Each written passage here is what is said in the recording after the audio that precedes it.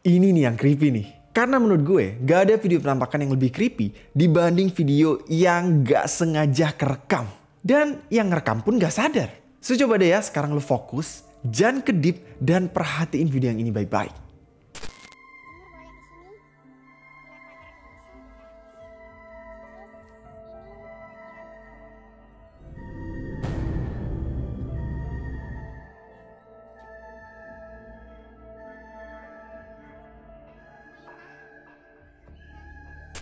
Gue nggak tahu lu notice atau enggak ya.